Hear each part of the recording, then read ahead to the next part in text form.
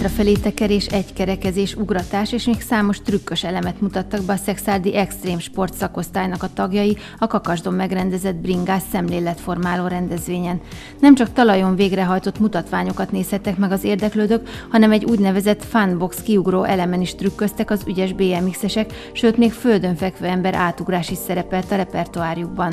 2016 nyarán kezdtem el BMX-ezni, engem ez a sportág feltöltődéssel tölt fel.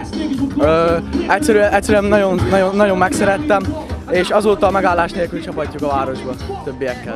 Általánosul is voltam, és az első Béla gimnáziumban, erre emlékszem, nyáron az volt, hogy kimentem oda, mint, mint kis Noki úgymond, még ilyen kisgyerekként, és ott láttam, hogy ugratnak a többiek, nagyon-nagyon na, szépeket ugrottak, meg kipróbáltam a BMX-üket egyfolytában, és megtetszett, aztán utána megvettem életem első bicikliét 2016 nyarán, és az, az, az, azóta megállás nélkül csapatjuk. Maga a BMX-ezés Amerikából ered, a 70-es évektől vált igazán népszerűvé.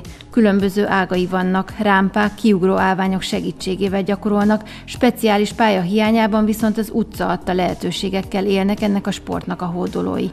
Szexárdon kiépítés alatt van egy skatepark, ahol majd a szakosztály sportolói megfelelő körülmények között gyakorolhatnak. Tulajdonképpen ez egy kb. 30 fős szakosztály volt már a pandémia előtt, ide jött a, a, a koronavírus, és ez, ez elég jól behatárolta a, a lehetőségeinket, tulajdonképpen nem voltak lehetőségek. Ugye közben a sportközpontnak az élén is váltások voltak, most ugye Szőke Gergő a, a sportközpont vezetője, és ez meg is látszik abban a szempontból, hogy nagyon pozitív a hozzáállás, és abszolút támogatja ezt a sportágat is, meg ahogy hallom a, a többi szakosztályt is.